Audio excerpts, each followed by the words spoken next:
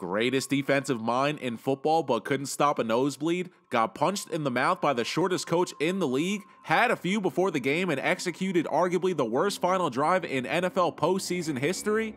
Well, I'm Nery Rodriguez, you're in the highlight zone, and we're going to recap Wild Card weekend in the NFL with fresh cookies.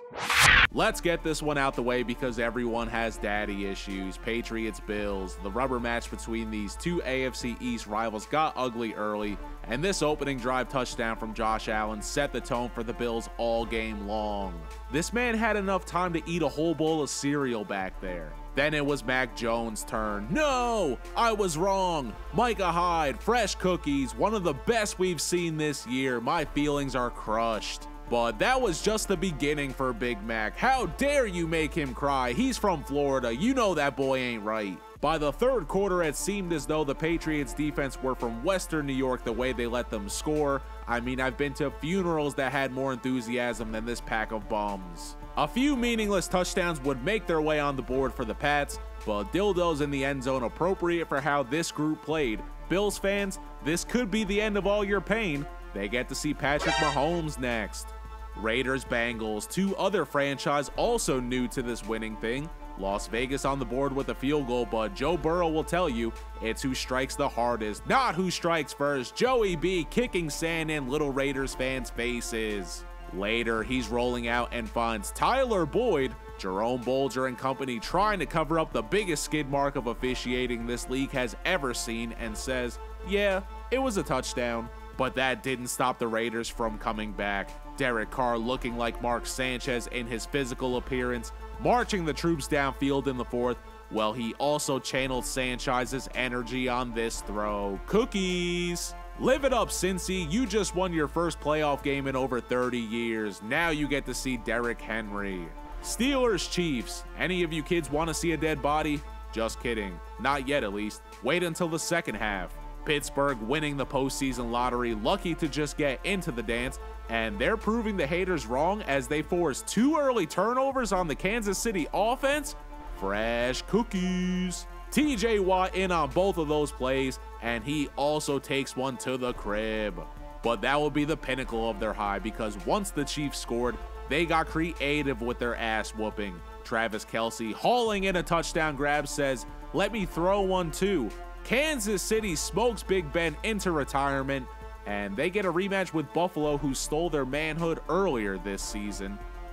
Eagles Bucs. The Eagles had no business of being in the playoffs and showed you why early. Jalen Hurts, fresh cookies. Oh, but they found different ways to turn the ball over. How about a muff punt? But the weather in Florida was who cares? You know you were in over your head when you got on that plane.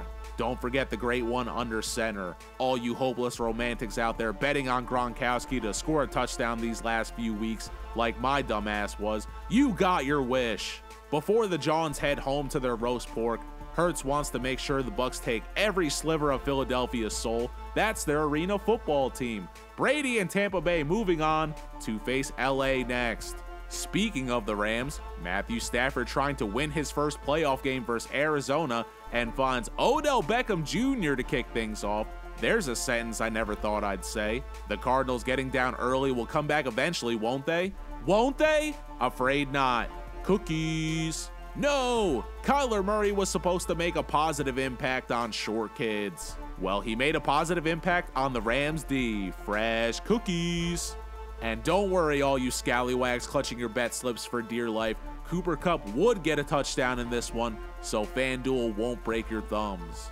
Let's wrap things up. 49ers Cowboys. We left this one for last because I'm convinced in pregame both teams said, How many times can we give this game away to the other team? And did just that.